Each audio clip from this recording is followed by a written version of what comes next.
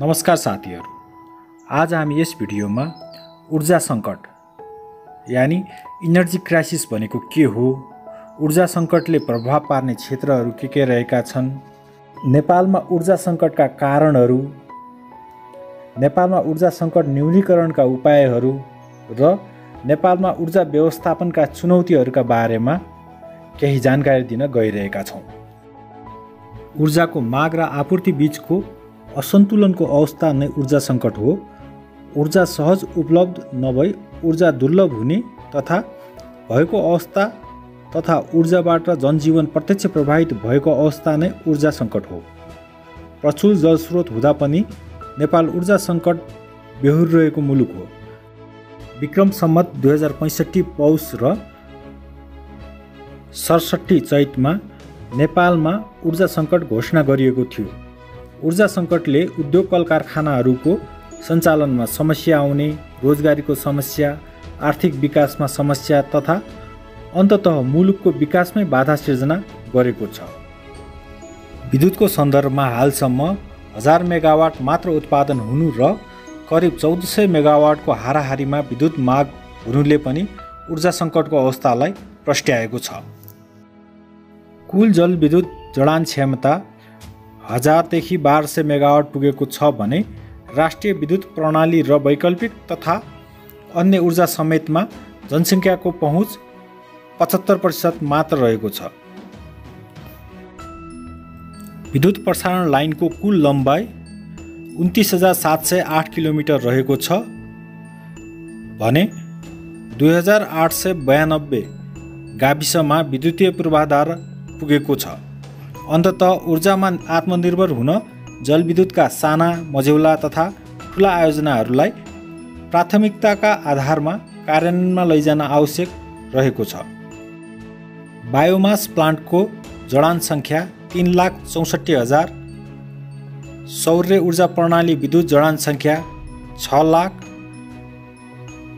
पैँचासी हजार र लघुवित्त तथा साना जलविद्युतबाट उत्पादित क्षमता पचासदेखि सय मेगावाट पुगेको छ। नवीकरणीय ऊर्जाबाट समग्रमा अठार प्रतिशत जनसङ्ख्या लाभान्वित भएका छन्। ऊर्जा सङ्कटले प्रभाव पार्ने क्षेत्रहरूमा दैनिक जनजीवनका क्षेत्र प्रशासनिक क्षेत्र ऊर्जा क्षेत्र सामाजिक क्षेत्र आर्थिक क्षेत्र शैक्षिक तथा अनुसन्धान क्षेत्र सूचना तथा सञ्चार क्षेत्र विज्ञान तथा प्रविधि क्षेत्र र अन्य क्षेत्रहरू पनि रहेका छन्। नेपालमा ऊर्जा सङ्कटका कारणहरूमा अत्याधिक माग तथा न्यून आपूर्ति र उत्पादन हुनु खनिजन्य ऊर्जाको उत्खनन र उत्पादनमा कमी हुनु विद्युतीय उत्पादनको कमी तथा चुहावटमा वृद्धि हुनु वैकल्पिक ऊर्जाको न्यून प्रयोग हुनु ऊर्जा उत्पादनको पूर्वाधार विकासको अभाव हुनु स्रोत साधन तथा लगानीमा कमी हुनु वैदेशिक लगानीमा आकर्षण गर्न नसक्नु ऊर्जा उत्पादन आयोजनाहरूको निर्माण र सञ्चालनमा समस्या हुनु संस्थागत सुशासनको कमजोर अवस्था हुनु र ऊर्जामा राज्यको समुचित लगानी तथा ध्यान आकृष्ट नहुनु आदि रहेका छन्। नेपालमा ऊर्जा सङ्कट न्यूनीकरणका उपायहरूमा उपयुक्त कानुन व्यवस्थाको अवलम्बन तथा कार्यान्वयन गर्ने ऊर्जाको समसामयिक नीति र प्रभावकारी ऊर्जा व्यवस्थापनको नीति अङ्गीकार गर्ने खनिजजन्य उद्योगको विकास गर्दै ऊर्जा प्रवर्धनमा जोड दिने ठुला जलविद्युत तथा जलाशययुक्त विद्युत उत्पादनमा जोड दिने विदेशी लगानीको उचित प्रबन्ध गर्ने ऊर्जामा निजी क्षेत्रको लगानीमा जोड दिने राज्यको ध्यानलाई लगानीतर्फ आकृष्ट गर्ने भौतिक पूर्वाधारको विकासमा जोड दिने वैकल्पिक ऊर्जा विकासमा जोड दिने विद्युत चुहावटमा नियमन तथा न्यूनीकरण गर्ने लघु जलविद्युत उत्पादनमा सहज वातावरणको सिर्जना गर्ने आदि रहेका छन्।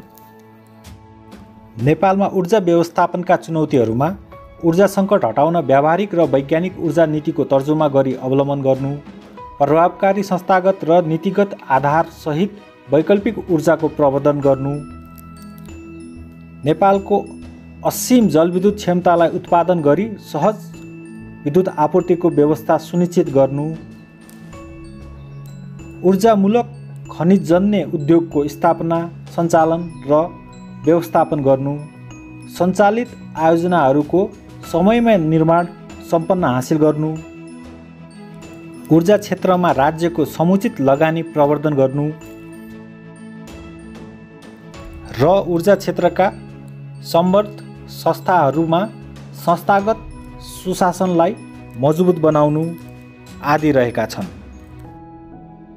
यो भिडियो अन्तसम्म हेर्नुभएकोमा धन्यवाद छ र मन परे लाइक र सब्सक्राइब गर्न नबिर्सिनुहोला। नमस्कार।